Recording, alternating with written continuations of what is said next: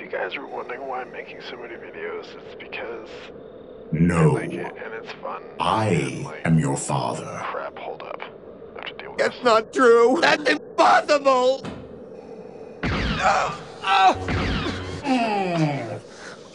Okay, well, at least I got that taken care of. Anyways, um, crap, is it just me or do I feel really lonely out here? Well, I am the owner, so technically I'm not supposed to be lonely,